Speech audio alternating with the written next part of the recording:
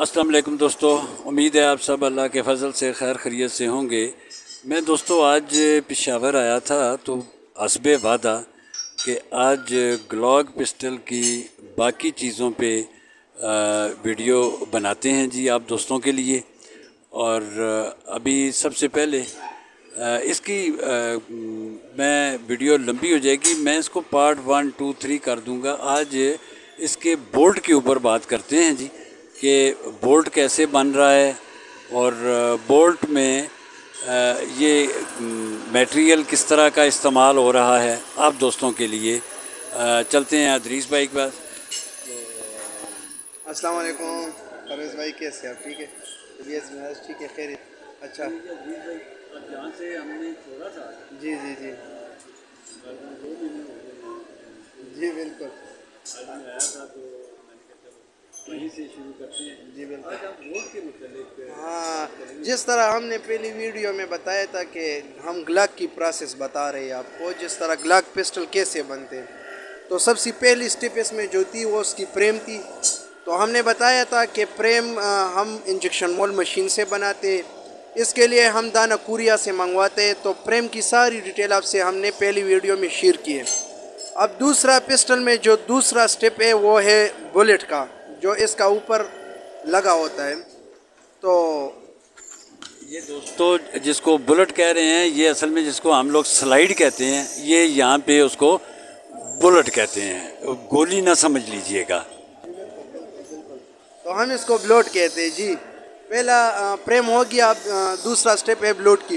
तो जिस तरह प्रेम जो है ना इंजेक्शन मोल मशीन से बनती है इस तरह ये स्लाइड ब्लोड जो है ना ये इधर इस तरह इन मशीनों से बनती है। इसको हम मिलिंग मशीन कहते हैं परवेज़ भाई। तो ये चीज़ मिलिंग मशीन से बनती है। ये इसकी सारा प्रोसेस है आपके सामने। ये मशीनरों की वीडियो भी आप आ, करें। पहले आपको हम बता रहे हैं ये आ, किस तरह पोजीशन में हमें मिलता है। आप दिखाए।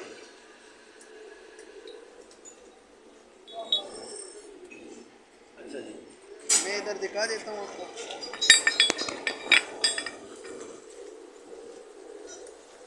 अच्छा परवेज़ भाई, ये दो किस्म की स्लाइड है, ठीक है? लोड ये जो है ना, ये गैस कटर इसको हम कहते हैं, ये बड़ा प्लेट आता है, नरम.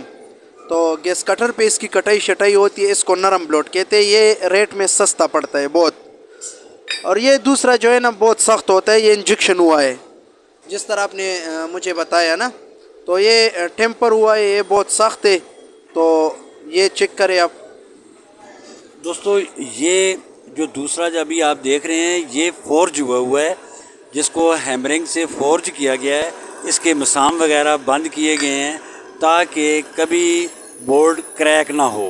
जबकि ये जो आपके सामने है, ये दो नंबर क्वालिटी है, जिस तरह के आपको बाज़ार में आपको एक नंबर दो नंबर तीन नंबर जो चीज़ें मिलती हैं, ये उस तरह की है। और ये नरम क्वालिटी है, जिस तरह के अदरीस भाई ने बताया है।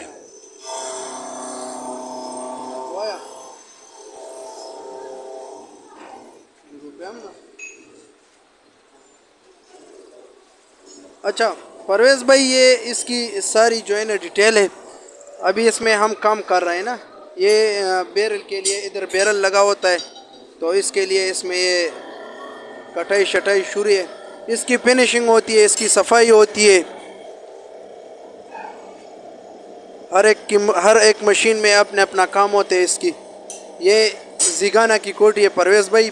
इसकी हम फिर दूसरी तीसरी वीडियो में बताएँगे।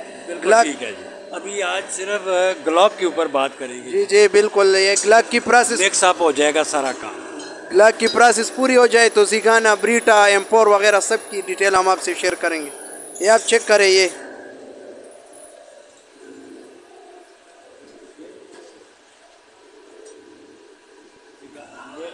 गाना का बन रहा है जी। इसमें नेक्स्ट टाइम इंशाल्लाह बशरते ज़िंदगी तो जिगाना के ऊपर भी पूरी डिटेल से ए टू ज़ी तक बनाएँगे। अभी ये देखते हैं कि ये अच्छा। ये पैरपिंग के लिए इधर सुराख होता है ना पैरपिंग जहाँ लगती है तो ये सारा इस पे हो जाता है। अच्छा अच्छा। ये उसकी आ, स्लाइड की बैक साइड है जी जहाँ से फायर पिन वगैरह डाली जाती है। ये वो उस मशीन पे ये काम हो रहा है जी। अच्छा जी। ये जी हमने फिर पाइप जनरेशन के लिए बनाया है। पाइप जनरेशन इसमें आगे पीछे दोनों तरफ़ जो है ना लकीरें होती है। अभी ये तैयार ब्लॉड है जी। ये जो सरेशन हैं जी आगे पीछे ये जनरेशन फाइव पे होती है तो ये वो बता रहे हैं जी।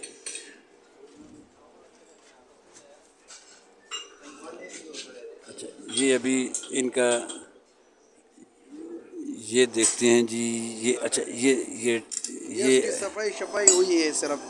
अच्छा ये सिर्फ़ अभी आउटर फिनिश की है जी अभी इन्होंने। और ये इस मशीन पे ये कर रहे हैं जी। तो ये लकीरें जो है ना इस पे इस तरह बनती है। सरेशन लाइंस हैं जी और जिससे ग्रिप करके आप कॉक करते हैं, ये इस मशीन पे इस तरीके से बनाई जाती है। ये देखिए आपके सामने आ गई हैं। दोस्तों, अगर आवाज़ कहीं कम ज़्यादा हो, माफ़ कीजिएगा, क्योंकि यहाँ शोर बहुत है मशीन्स शॉप है, और मशीन्स की आवाज़ भी बहुत ज़्यादा है। तो चलते हैं जी। आज बुलेट की किस तरीके से, स्लाइड किस तरह तैयार होती है, ये आज इस पर इतनी ही मेरे ख्याल में अ, इसके बाद इन अगली वीडियो बैरल के ऊपर इसकी बैरल कैसे बनाई जा रही है और वो उसके ऊपर वीडियो बनाएँगे जी और उसके बाद फिर बाकी जो उसकी चीज़ हैं उसकी फिटिंग है फिर उस पर बनाएँगे फिर उसके बाद लास्ट में पिस्टल जब फिट हो जाएगा आ, उसके बाद उस पर फायर भी करेंगे। जो भी आपके कोई सवालात हों तो मुझे अपने कमेंट्स में ज़रूर लिखिएगा, ताकि मैं इनसे उसके जवाब हासिल करके आप तक पहुँचा सकूँ। तो इसके साथ ही दोस्तों इजाज़त चाहूँगा, और अगर ये वीडियो पसंद आए तो लाइक कीजिएगा। जो नए दोस्त आ रहे हैं, उनसे दरख्वास्त है कि वो सब्सक्राइब कर लें और मुझे हमेशा की तरह अपनी दुआओं में याद रखिएगा। अल्लाह हाफिज़।